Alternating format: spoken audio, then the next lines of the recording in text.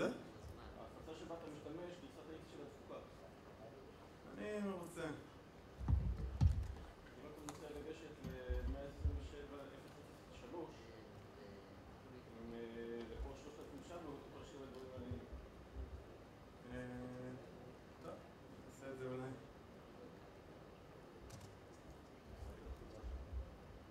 טוב. די, הוא משתמש- הוא משתמש בהפצה של רמו. היי.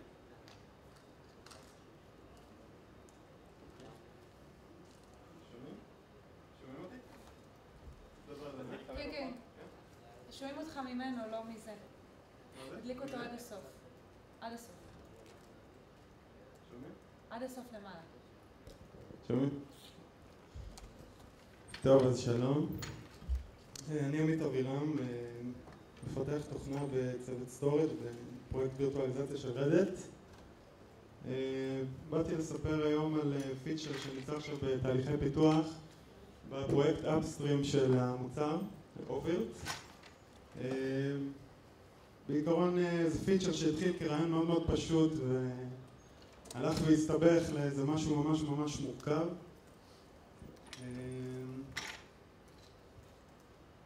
הפיצ'ר הוא בעיקרון אה, נקרא Image Upload. אה, בעיקרון באופן מאוד מאוד בסיסי פשוט להעלות קובץ ממחשב של משתמש לתוך המערכת שלנו. אה, אפשר לקרוא את כל הפרטים עליו בעמוד של הפיצ'ר שנמצא באינטרנט, באתר של אוברט. זהו, כתובים שם כל הפרטים הטכניים למי שזה מעניין. אה, בעיקרון המשמעות של הפיצ'ר הזה זה, זה כמו שאמרתי להעלות קובץ שאצלנו במערכת הוא אה, מייצג דיסק של machine. אה, המערכת, אה, הזכרתי את זה, מערכת לניהול virtual machines. אה, זהו, וזה מה שהפיצ'ר צריך לאפשר, פשוט לקחת אה, אה, דיסק שהוא בעצם קובץ ולהעלות אותו אלינו לתוך המערכת. המוטיבציה של ההרצאה הזאת היא בעצם לדבר על, השיקולים שנתקלנו בהם לאורך, הדרך שהלכו וסיבכו מאוד את הפיצ'ר הזה. למה זה מעניין? כי זה כל מיני שיקולים שהם יכולים להיות רלוונטיים להרבה תהליכים של אה, עיצוב של אה, כל מיני פיצ'רים אחרים. אה, בין השאר יש שיקולים של יעילות, של אבטחה, של ניהול זמן.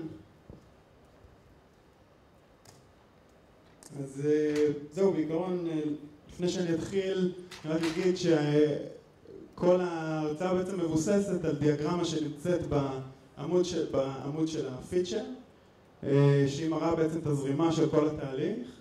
שאם אה, תיכנסו ותלחצו על התמונה הזאת, תוכלו לראות ממש את ההיסטוריה של הדיאגרמה הזאת. ולראות בעצם שהתחילה באמת מה, מהדיאגרמה המאוד מאוד פשוטה הזאת, ולראות איך פתאום היא צמחה למשהו מאוד מאוד גדול.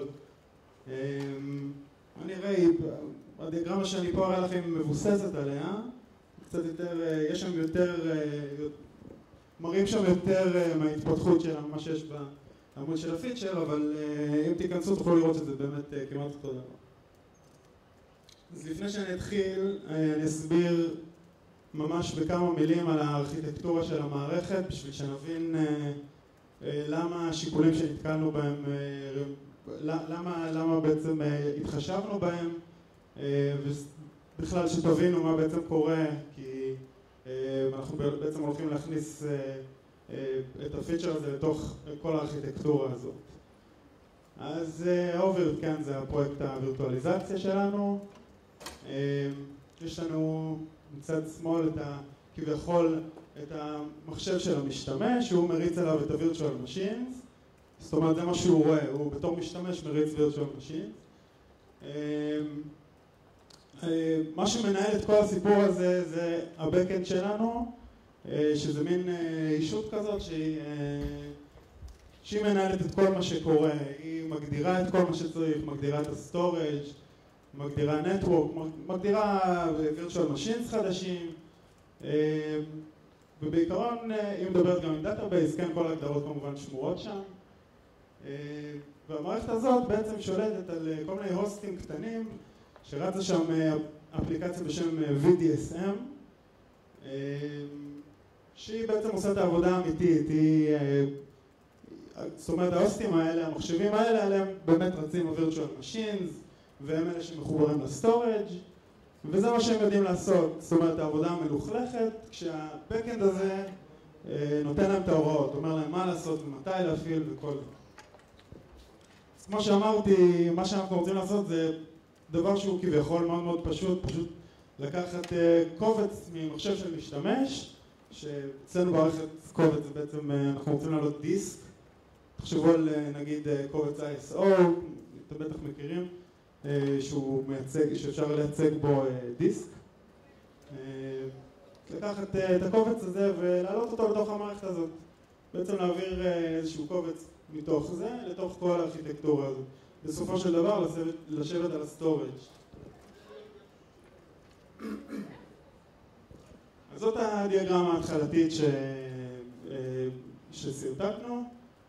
נראה מאוד מאוד פשוט, יש לנו משתמש, יש לו user interface, בוחר קובץ מהמחשב שלו, פשוט שולח ל backend בקשה, אומר זה, זה הקובץ שאני רוצה להעלות, הבקאנד אומר בסדר, הוא מעלה את הדאטה והבקאנד בסוף אומר לו, אחרי שהוא מסיים להעלות את הדאטה הוא אומר לבקאנד סיימתי להעלות והכל טוב ויפה, העלינו קובץ לתוך המערכת.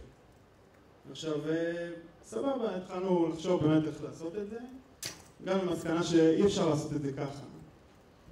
בראוזרים מסתבר לא יכולים לקחת עכשיו קובץ, שוב הקובץ הזה זה קובץ שאמור לייצג אצלנו דיסק, זה יכול להיות גם טרה, כן, של, של דאטה. זאת אומרת הקובץ הוא מאוד מאוד גדול ולקחת עכשיו בראוזר ולעשות איתו upload לקובץ שהוא בסדרי גודל מאוד מאוד גדולים זה בעיה, זה פשוט לא יכול לקרות. בראוזרים לא יכולים לקחת כמויות גודל. סליחה, קובץ בגדלים כאלה ופשוט להעלות אותם בסטרימינג בפעם אחת. אז פתרון ראשון שהוספנו לדיאגרמה זה בסדר, יש ב-HTML5 יש את file API שיוכל לקחת לי קובץ ופשוט לחלק אותו לחלקים. ואמרנו בסדר נשתמש בזה ובמקום לשלוח בפעם אחת פשוט נגיד בהתחלה כרגיל מה שרצינו להגיד שזה לבקש להעלות את הקובץ בגודל המסוים ואז פשוט נעלה חלקים חלקים. שזה משהו שהבראוזר כן יכול לעשות. זאת אומרת במקום לקחת עכשיו קובץ אחד ולהעלות אותו פעם אחת להעלות טרה של דאטה נגיד אז אנחנו מעלים הרבה פעמים חלקים של 200 מגה או משהו כזה פחות או יותר, כן טוב, המשכנו בתהליך התכנון ואז אמרנו, אוקיי, אז אנחנו יכולים עכשיו להעלות את הדאטה הזה, אבל לאן אנחנו מעלים אותו? זאת אומרת, אמרנו, נעלה אותו לבקאנד. מה זה בקאנד? יש לנו מערכת שלמה שצריכה להיות, יש מערכת שלמה שהיא מנוהלת והיא מאוד מורכבת וכל שם הגדרות על גבי הגדרות. זה אומר שיש עוד ישויות שצריך להגיד להם מה קורה ולנהל אותם. אז קודם כל אמרנו, אוקיי, יש לנו, אנחנו צריכים ליצור את הקובץ הזה איפשהו. אז סבבה, פשוט ניצור דיסק חדש שאצלנו כן במערכת זה קובץ. מישהו צריך לעשות את זה, אז יש לנו, כן אמרנו את המחשבים הקטנים האלה, שהם אלה שמתחברים לסטורג' אז צריך לדבר איתם גם ולהגיד להם באמת ליצור את הקובץ הזה. מעבר לזה, גם אחרי שיצרנו את הקובץ, מאחר ויש לנו מערכת מנוהלת והרבה virtual machines שרצים, אנחנו צריכים גם לנעול אולי את הקובץ הזה, זאת אומרת אנחנו צריכים לנהל את כל הסיפור הזה. הפתרון היה באמת להוסיף את האישות הזאת של ה-VDSM, שמה זה אומר? אחרי, ש... אחרי ששלחנו מהמחשב של המשתמש לבקאנד את הבקשה שאנחנו רוצים להתחיל עכשיו לעלות קובץ, אז הבקאנד גם צריך להגיד ל-VDSM שאנחנו רוצים לעלות את הקובץ הזה, הוא צריך להגיד לו להגדיר את הדיסק הזה. מעבר לזה הוא צריך עכשיו גם לנעול את הדיסק הזה, זאת אומרת בכל התהליך הזה עכשיו הדיסק הזה במערכת שלנו הוא נעול. ה-Backend אומר ל-VDSM גם אני הולך עכשיו להתחיל לכתוב לך. וברגע שאני מתחיל לכתוב את הדאטה, אז אני צריך לעשות פה איזשהו קישור גם ל-VDSM. זאת אומרת, אני אה, מתחיל בתהליך העלייה, וברגע שה-Backend מקבל את הדאטה, הוא שולח את זה גם ל-VDSM. כמו שאתם רואים כבר, יש לנו פה עוד איזושהי תוספת לדיאגרמה, וזה מתחיל לראות אה, קצת יותר מסובך ממה שחשבנו. עכשיו הבעיה הנוספת ש... אה, שהגענו למסקנה שצריך להתחשב בה זה שאנחנו בעצם עכשיו אה, לוקחים את המערכת שלנו שהיא מערכת אה, שמקבלת בעצם פקודות ממחשב של משתמש שזה גם בסדרי גודל נורא קטנים, זאת אומרת אם ברגע שאני מתחבר למערכת ואומר נגיד ומגדיר איזשהו storage או איזשהו virtual machine חדש אז אני בעצם מדבר פה בפקודות שהן מאוד מאוד קטנות פקודות של, אה, לא יודע, קילו בייטים אה, במקרה הרע. ועכשיו אני בא להוסיף פה איזשהו פיצ'ר שהולך אה, לעלות דרך ה-Backend פתאום סדרי גודל מאוד מאוד גדולים של אינפורמציה. אני לא יודע מה זה, מה זה יגרום למערכת שלי, זו מערכת שכבר הרבה זמן עומדת ויש לה משתמשים. לא יודע מה יהיו השלכות של זה, אולי זה יפיל אותה. מעבר לזה, אם יהיו איזשהן בעיות, אז גם uh, לצורך העניין ב-VDSM שדיברנו עליו קודם, שהוא מי שממש מריץ את ה-Virtual Machines, אם אני גורם לאיזושהי בעיה בו והוא נופל, אז uh, פתאום בעצם אני אומר, יש לי פה מחשב שמריץ Virtual Machines, אנשים משתמשים בו, ופתאום הוא לא מתפקד, אז מה, מה קורה עכשיו? זאת אומרת, אני מאוד מאוד, יש לי פה פוטנציאל לשבור את המערכת שלי. Uh, מעבר לזה, גם בחשיבה לטווח יותר ארוך, אני רוצה גם להתחשב בסקלביליטי, זאת אומרת, עכשיו אני אומר בסדר, אני חושב על מצב שבו אני בתור משתמש מעלה קובץ לתוך המערכת, אבל זה בעצם מערכת שהיא מיועדת לנהל המון המון משתמשים. זה אומר שהרבה משתמשים ירצו להעלות את הקובץ הזה. אז בעצם אני רוצה אולי לחשוב במחשבה לעתיד, אולי לפצל את ה... את התהליך הזה שהוא לא יעבור דרך, דרך ה-Backend הזה ככה בפקודה אחת כי בעצם אולי הרבה אנשים ירצו לעשות את זה וזה כבר מעל ומעבר למה שהמערכת מסוגלת לספור. אז הפתרון היה בסדר, לקחת את, ה, את כל הלוגיקה הזאת שדיברנו עליה, של לקבל את האינפורמציה, לכתוב ל storage וכל, וכל הדברים האלה ופשוט להוציא אותה מה-Backend. מה זה אומר בתכל'ס? זה אומר לקחת את הלוגיקה ולכתוב אותה ממש ב process אחר נפרד שהוא לא, לא חלק מהמערכת שלנו. process, process נפרד, לצורך העניין אפליקציה אחרת, server אחר לגמרי. אוקיי? זה אומר עכשיו שבכלל הדיאגרמה שלנו מסתבכת כי כל מה שבעצם דיברתי קודם עם ה-Backend, אני עכשיו צריך, אני צריך לשלב פה עכשיו עוד אפליקציות נוספות. אז עכשיו במקום במקום לכתוב לבקאנד ושיכתוב, סליחה, החלק הראשוני נשאר אותו דבר, כן, כי הבקאנד עדיין אומר ל-VDSM הזה שהולך להיות קובץ חדש, כל, כל הצד הניהולי נשאר אותו דבר, אבל חלק של, ה, של הכתיבה של הדאטה פתאום היא עוברת לא מהבקאנד אלא לישות נפרדת. והישות הנפרדת הזאת גם היא כותבת לאיזושהי ישות נפרדת שנמצאת ב, בהוסטים שגם לה יש גישה לסטורג' וכולם צריכים להכיר אחד את השני. אז בעיקרון, מבחינה טכנית, מה שקורה פה, זה אמרנו בהתחלה, הכל נשאר אותו דבר, ובחלק של העברה של האינפורמציה, אני מעביר את הדאטה דרך האישות הנפרדת הזאת, שהיא סוג של פרוקסי פשוט, והוא כותב למישהו שיש לו גישה לסטורג' גם אישות נפרדת, כל האינפורמציה, את כל הדאטה הזה.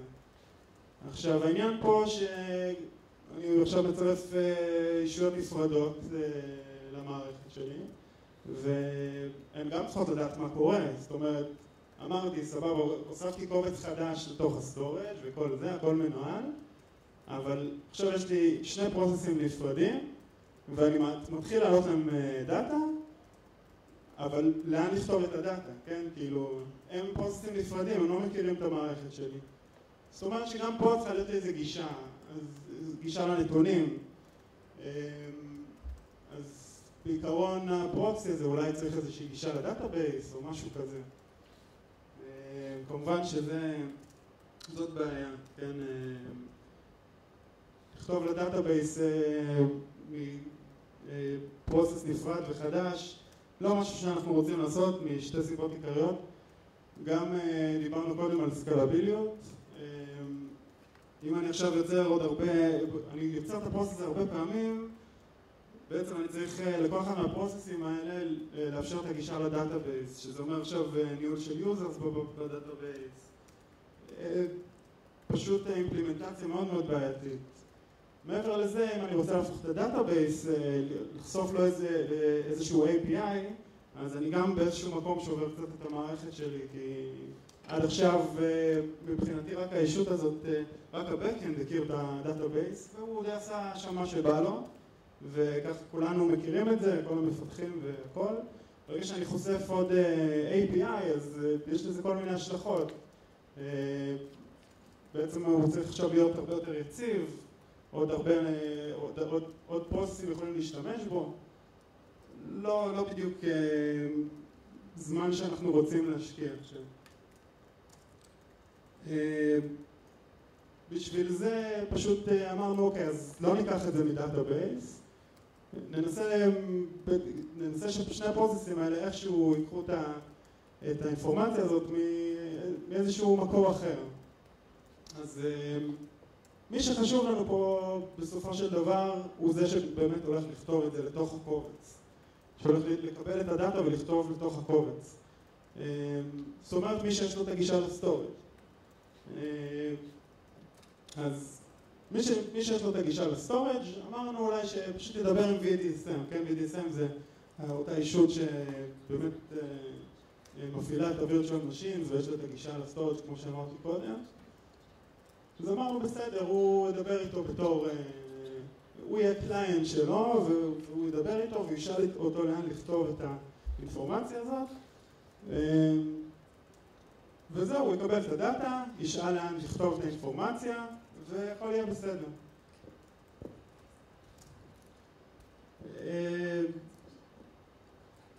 עכשיו מעבר לזה, קודם אמרנו גם שאנחנו יוצרים פרוסס חדש שעכשיו המשתמש יוכל דרכו להעביר data. עכשיו, עד היום יש לנו front-end שמתחבר ל back-end ויש כל מיני שיקולי אבטחה כי ה back-end הוא בעצם הוא חשוף לכל מי שרוצה, זאת אומרת, הוא נמצא לך ב browser, כל מי שרוצה יכול להתחבר אליו. ברגע שאנחנו מאפשרים פה עוד פנים לתוך המערכת שלנו, אנחנו בעצם יוצרים איזושהי בעיה של אבטחה. בעצם כל, כל מי שרוצה עכשיו יכול להתחבר לבקאנד שלי ולשלוח לו הודעות. לדוגמה, מבחינת אבטחה, denial of service אפשר לבצע ולהחליש את המערכת שלי או אפילו להפיל אותה. בעיקרון הפתרון היה פשוט שבשביל להתחבר לפרוקסי הזה שדיברנו עליו, שהוא האישות החדשה שפיתחתי בשביל להעביר את האינפורמציה, אני מקבל בתור המשתמש, ברגע שאני מתחיל לבצע את ההעלאה הזאת, אני מקבל איזושהי סיסמה, והבראוזר, כשהוא מעביר את האינפורמציה, הוא מעביר גם את הסיסמה הזאת. ורק ככה הוא יכול בעצם להתחבר לפרוקסי. זאת אומרת, רק מי שמבצע את הפעולה הראשונית יכול להמשיך ולבצע את, הפעולה, את הפעולות הבאות. וככה לא כל מי שרוצה יכול פתאום להיכנס מהצד לתוך המערכת שלי. הדבר הבא הבעייתי היה, כמו שאמרתי קודם, שאמרנו שנממש קליינט ל-VDSM הזה. עכשיו, למה זה בעייתי? כי VDSM גם, יש לו API, יש לו API שלם, ש... שלחשוף אותו זה גם בעצם אומר שיש לי עכשיו פרוסס, רגע, אני לא קורא נכון.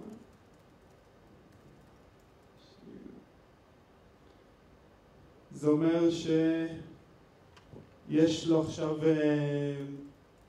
גישה לכל ה... לכל, גם למערכת שלי, זאת אומרת, אותו VDSM שהוא נמצא אצלנו באזור שהוא פתוח, אנחנו חושפים אותו גם לפרוסס חדש עכשיו, ל-API שלם של אה, לכבות VMים, להדליק VMים, אה, אה, לנתק storage, לחבר storage, זה קצת בעייתי, זאת אומרת, באנו לעשות פה איזשהו, להוסיף פה איזשהו process שהוא, שהתפקיד שלו זה בסך הכל להעלות איזשהו קובץ, וההשלכות של זה, זה עכשיו שיש לו גישה לכל ה-API והוא יכול לעשות מה שהוא רוצה, זאת אומרת, אם מישהו איכשהו מצליח להגיע אליו, הוא יכול לכתוב לתוך ה storage שלי, או להשתמש בכל ה-API של ה-VDSM, כן?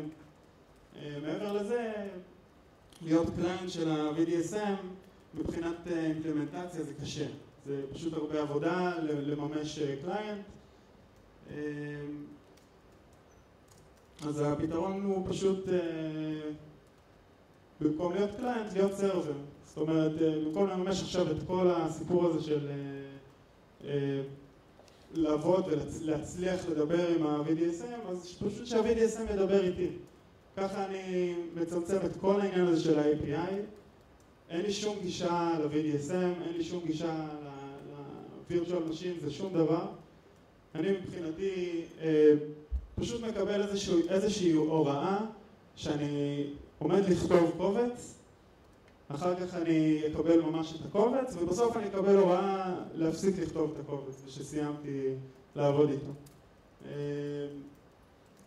כמו שאתם רואים מבחינת הדיאגרמה פה, אז ברגע שקיבלתי את ההנחיה הראשונית, אז ה-VDSM פשוט פה פונה, פונה בבקשת HTTP רגילה ופשוטה לתוך הסרבר הזה החדש שאנחנו מייצרים פה, והוא אומר לו, אתה הולך לרשום איזשהו קובץ.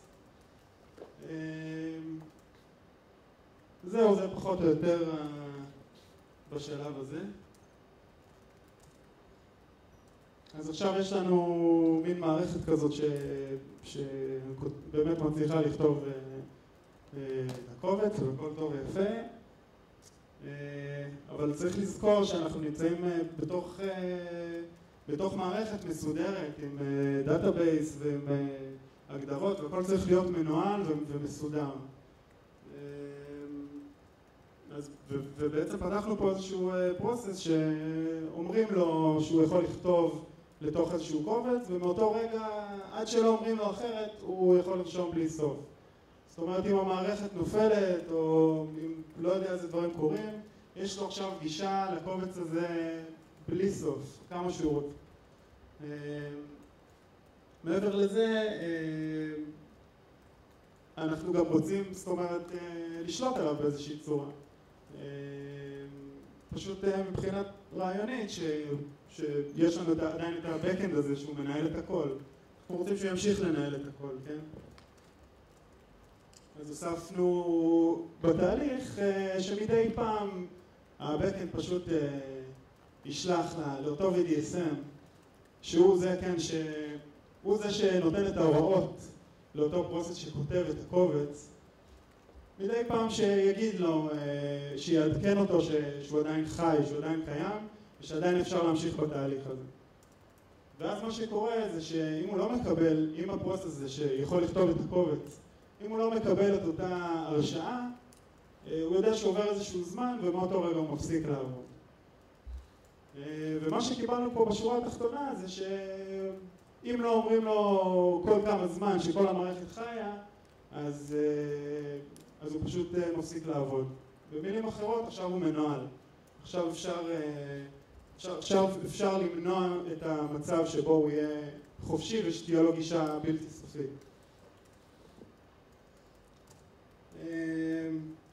זהו בעיקרון הפרויקט הזה, הוא, הפיצ'ר הזה עדיין בתהליך, בתהליכי פיתוח, ככה שהדיאגרמה הנוכחית גם היא אולי לא הסופית, אז אני לא יודע, אולי יהיו פה עוד כמה שקופיות עוד כמה חודשים. וזהו, רק לצורך ההשוואה, היה, זאת הייתה הדיאגרמה המקורית שהראיתי בתחילת המצגת, וזאת הדיאגרמה הנוכחית שכרגע קיימת. אז אפשר לראות איך רעיון מאוד מאוד פשוט בהתחלה שהיה נראה שהולך לקחת הרבה פחות זמן למימוש, פתאום נהיה מין משהו כזה מאוד מאוד גדול ו... ואגב, באמת את, ה... את, ה... את שתי הדיאגרמות האלה אפשר לראות בעמוד של הפיצ'ר, כן? אם אה, נכנסים לעמוד של הפיצ'ר ולוחצים על התמונה הזאת ש, שאתם יכולים לראות אותה שם, אתם רואים באמת כמה צעדים אחורה את התמונה הזאת.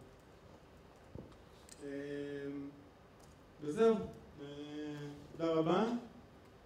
אה, וכל מי שמעוניין לתרום לפרויקט או סתם להתעניין כמובן מוזמן להיכנס אה, ולתרום. זהו.